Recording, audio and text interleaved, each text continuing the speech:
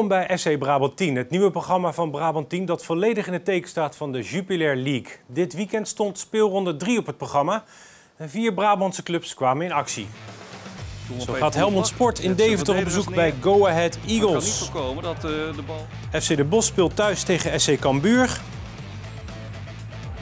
En weet SC Os langzij te komen bij Almere City. FC Eindhoven speelt tegen Telstar en weten zij de koppositie op de ranglijst te handhaven. Iedere week laten we u dus de samenvattingen zien van de gespeelde wedstrijden... met daarbij natuurlijk extra aandacht voor de Brabantse clubs. FC Den Bosch, FC Os, Helmond Sport, SC Eindhoven en Willem II. En we beginnen vandaag met de uitwedstrijd van Helmond Sport bij Go Ahead Eagles... Eerder deze week berichtte de KNVB dat Helmond Sport de financiële zaak op orde moet stellen. De club valt in de zogeheten derde categorie, waar ook FC De Bosch en Willem II in zitten. Zij moeten van de KNVB binnen drie jaar in categorie 2 komen. Dat is de categorie waar FC Eindhoven al in zit. FC Os is nog niet ingedeeld omdat het vorig seizoen niet in de Jupiler League meespeelde. Ten tijde van het laatste meetmoment in juni had FC Os nog de status van een amateurclub en reglementair hebben ze dan een licentie voor het betaalvoetbal per 1 augustus. En dat betekent dat bij het eerstvolgende meetmoment, en dat is dus eind dit jaar, de club wordt ingedeeld. Os laat overigens wel weten dat zij met de KNVB willen praten over deze indeling, omdat de club van mening is dat de financiën op orde zijn en dat het in categorie 3, categorie 3 zou moeten worden ingedeeld. Wordt dus vervolgd. Dan over naar de orde van de dag. Helmond Sport moet dus financieel en sportief aan de bak. De ploeg staat na twee wedstrijden elfde en neemt het op tegen Go Ahead Eagles. Deze ploeg staat nu zesde. U ziet de samenvatting. Twee ploegen die vorig seizoen de play-offs haalden tegen elkaar in de Adelaarshorst. Go Ahead Eagles tegen Helmond Sport. En het begin is er voor de thuisploeg, voor Go Ahead. Want de overtreding wordt gemaakt door Justiana. En dus gaat de bal al heel vroeg op de penaltystip.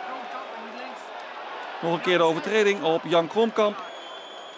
En dus mag Marnix Kolder achter de bal plaatsnemen. Gekomen van Veendam is hij trefzeker. Hij zorgt voor een hele vroege treffer voor Go Ahead. De laatste drie ontmoetingen hier op de Adelaarshorst tussen Go Ahead en Helmond Sport werden alle gewonnen door Go Ahead. Wat kan Helmond Sport? Pepijn Veerman met de 1-2. Het levert een hoekschop op. Via Karami, de rechtsback van Go Ahead. Doelman Peter van der Vlag zet zijn verdedigers neer. Maar kan niet voorkomen dat eh, de bal uitstekend gekopt wordt. Bal belandt op de kruising. En zo was Helmond Sport heel dicht bij de gelijkmaker. Helmond Sport begint steeds beter te spelen. Hans de Koning ziet hoe het hier 1-1 wordt. Hans de Koning, de trainer uiteraard van Helmond Sport. Erik Kwekel is de doelpunt te maken. En het is op dat moment zeker verdiend.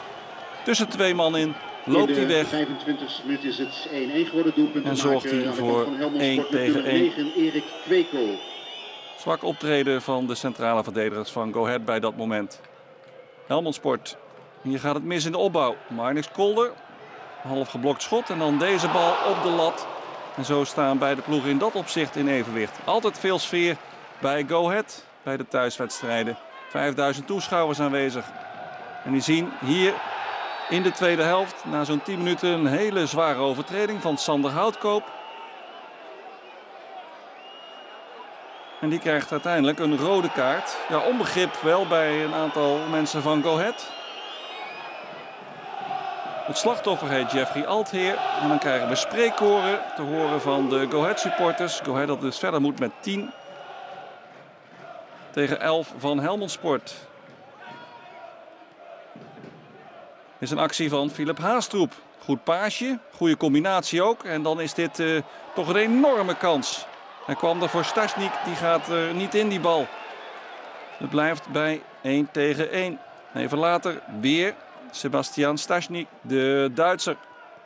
Gohet kan uitverdedigen, maar doet dat heel slordig.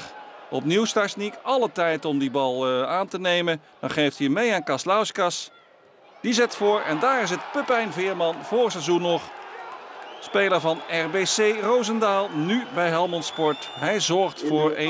Zijn eerste treffer in Helmondse dienst. Prima binnengekopt. En de teleurstelling bij Peter van der Vlag. De supporters pikken het dan niet, blijkbaar.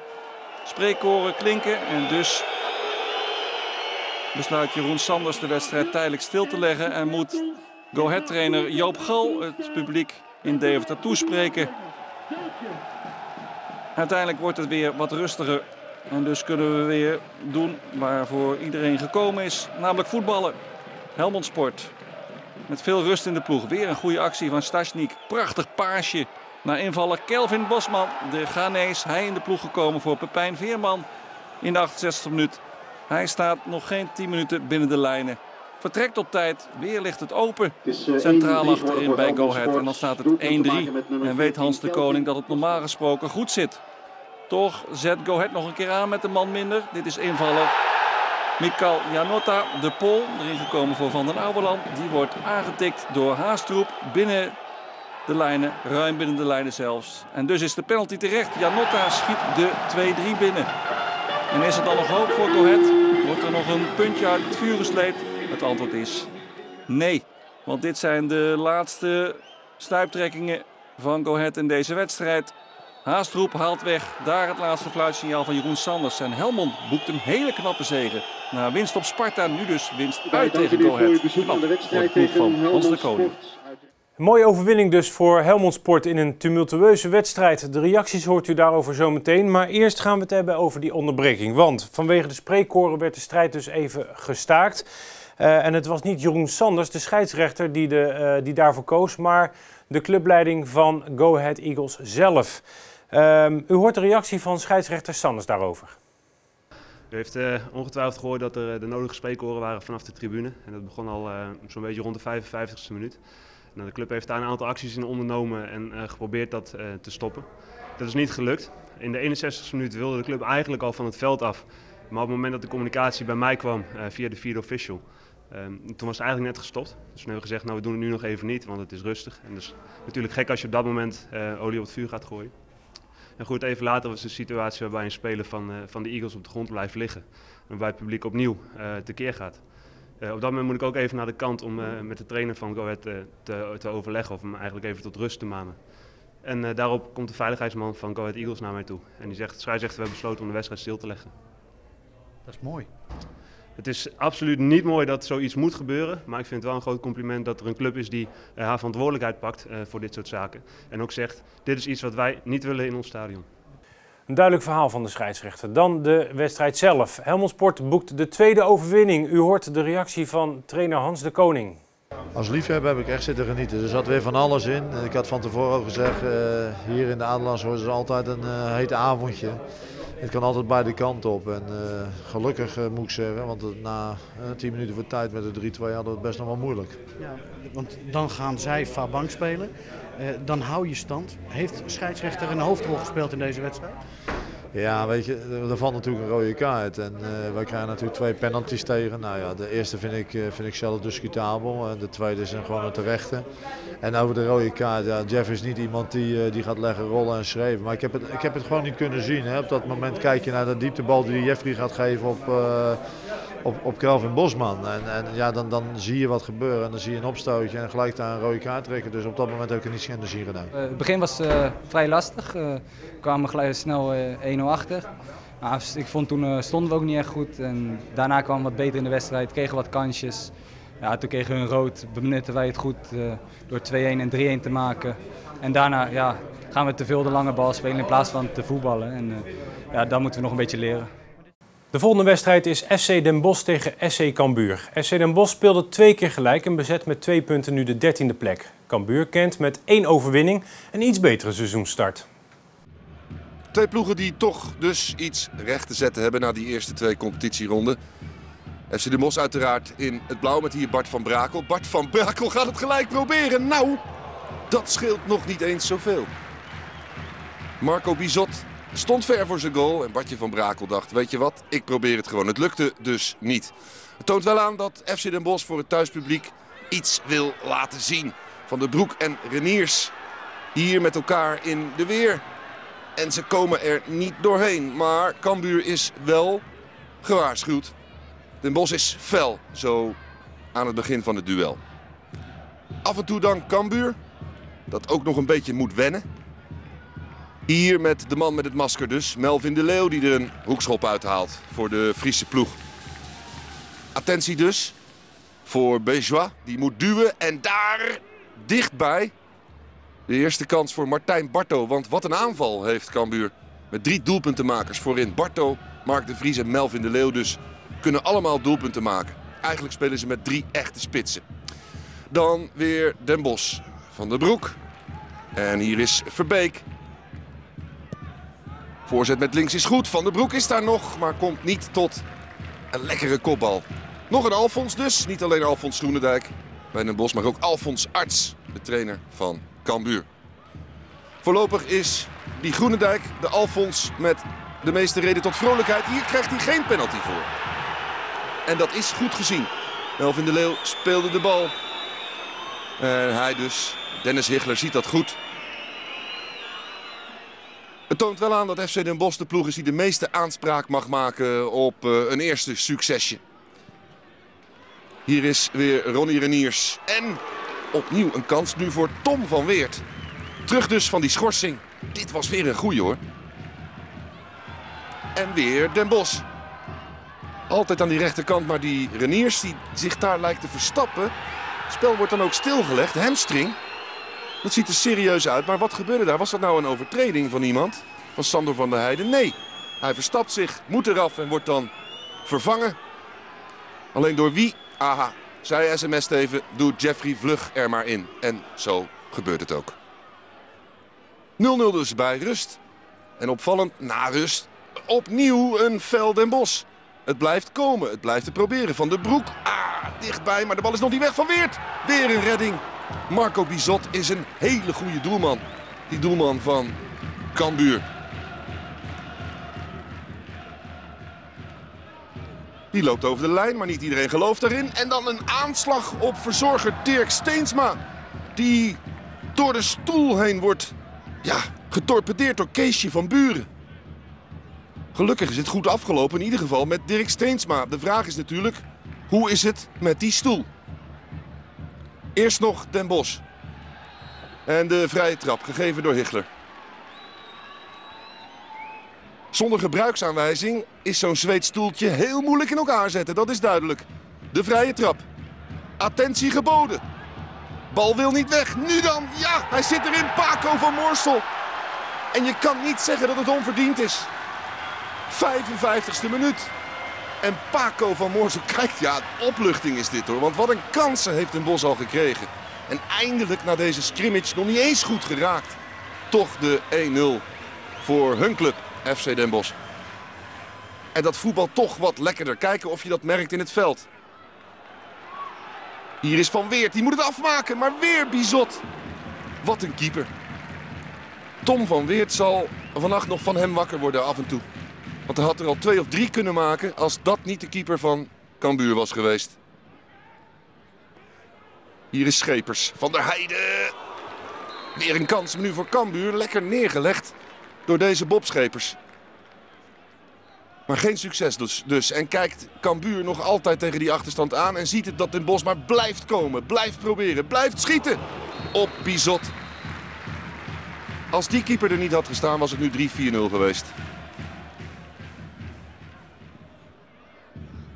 Dissels, de invaller aan de kant van Cambuur. Nou voor de 1-1. Nee, hij gaat op avontuur. Waar gaat hij heen? Kans voorbij natuurlijk. Wat zonde. Charles Dissels. Dat was een mogelijkheid op de 1-1. Zit die er dan nog in? Hij, deze Alfons, hoopt van niet. Die andere Alfons hoopt van wel. Hier is Vosselman. Vosselman, ja, hij zit erin. De 1-1. Oh, weer Sander van der Heijden. Wat is hij belangrijk voor Cambuur. En zo weinig kansen heeft Cambuur dan nodig om toch die 1-1 te maken. Slim gedaan door Vosselman. En zij zijn niet voor niets 250 kilometer met de bus gekomen. Deze Alfons en die andere Alfons spelen 1-1 tegen elkaar. Derde gelijkspel op rij. Um, wat zegt dat? Ja, dat wij moeilijk, moeilijk uh, wedstrijden winnen. Dat wij moeite hebben om een uh, voorsprong uh, eigenlijk over de streep te trekken. Um, we hebben maandag bij Telstar we niet goed gedaan. Ik heb wel vanavond gezien dat de ploeg duidelijk uh, ja, wat recht wilde zetten. Ik vond dat wij de bovenliggende partij waren. Zeker de tweede helft waren wij beter als Cambuur. Ja, alleen we hebben verzuimd om groter afstand te nemen. En, ehm, maar het zegt wel iets dat wij snakken naar een overwinning. want als je twee keer gelijk speelt, dan wil je natuurlijk die derde wedstrijd wil je winnen. Ja, en dat is weer niet gebeurd. En dat betekent dat je weer twee punten inlevert. Terwijl je ja, toch heel eerlijk moet zijn. En dat je, had je gewoon bij moeten schrijven vanavond. Ja, wij spelen gewoon uh, voor de play-offs. En, uh, kijk, we maken ons nog geen zorgen dat we dat nu niet gaan halen. Maar uh, het is toch lekker als je vanaf het begin af aan een beetje bovenin meedraait. Want ja, hoe meer je gelijk speelt, hoe meer punten je laat liggen, hoe verder je achterop raakt. En je zult het toch een keer goed moeten maken. Straks ziet u onder meer FC Os in actie tegen Almere City. Maar eerst krijgt u van ons het overzicht van twee andere wedstrijden. En dan beginnen we met de wedstrijd Fortuna Sittard tegen FC Emmen. En daarna ziet u Sparta Rotterdam tegen FC Volendam. 36 minuten gespeeld zijn er in Sittard als het wegdommelende publiek voor het eerst wordt wakker geschud door deze kans van Gommans. En dan wordt het leuker, hoewel de eerste helft het blijft behelpen. Ter heide met de beste mogelijkheid namens Emmen. Maar het was pover en slaapverwekkend voorrust in de tweede helft. Een heel ander verhaal. Gommans gaat door, wordt vastgehouden. En dan moet er natuurlijk een rode kaart en een penalty komen, denkt iedereen. Behalve de man die erover gaat, scheidsrechter Ketting. Die zag namelijk een aanvallende fout. Het werkt inspirerend voor Fortuna dat niet veel later op voorsprong komt. En nu is het wel raak. Schelen maakt hem zijn eerste in dienst van Fortuna Sittard. Dat vorige week ruim won met 5-1 van AGOVV. En nu dus ook weer op voorsprong staat in eigen huis. Maar die voorsprong, daar kunnen ze maar vier minuten van genieten. Want hier is de gelijkmaker van Elson Rosario Almeida. En Düsseldorf baalt dan. Maar niet lang hoor, want hier komt de nieuwe voorsprong. Een prima doelpunt van Stolte. Inderdaad, Stolte, die kennen we toch van Emmen. Maar die speelt nu voor zijn nieuwe liefde, dat is duidelijk. Fortuna Sittard. Dan Hoesen, uitblinker in deze wedstrijd. Een geweldige goal. Sowieso veel mooie acties van hem. 3-1 wedstrijd gespeeld. En in de slotseconde dan nog dit moment. Hoesen wordt gepakt door Koenders. Tackle op de bal, maar wel van achteren. Rood voor Koenders. Penalty voor Fortuna. Rikse mist. Maar de rebound is voor Diaz. Weer een ruime overwinning voor Fortuna Sittard. Wat een beelden.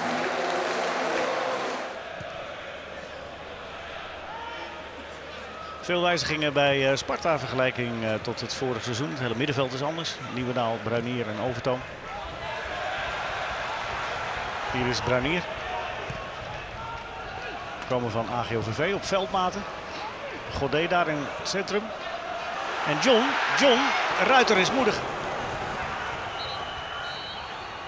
Kruis achter de bal. Dat is een aardige vrije trap. Pellats maakt zich boos. Want vindt dat uh, zijn muur hier had moeten ingrijpen.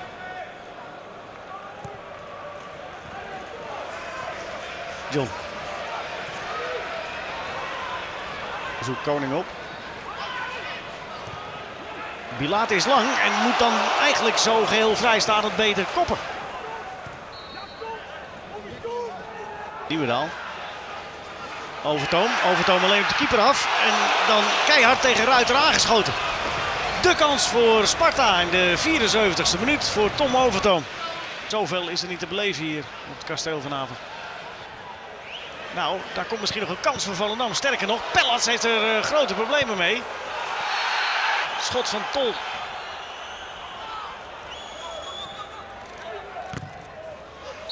En zo blijft het zoals het begon hier. En daar is niet iedereen tevreden mee. Zometeen ziet u nog de andere Brabantse clubs, FC Os en FC Eindhoven. En de vraag is of de Eindhovenaren de positie aan de kop weten te handhaven. We gaan er even uit. Tot straks.